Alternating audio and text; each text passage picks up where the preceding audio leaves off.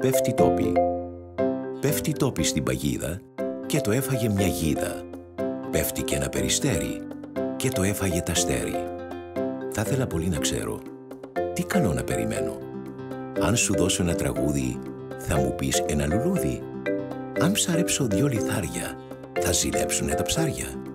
Περιπλέκοντας τις λέξεις, θα σ' αφήσω να διαλέξεις.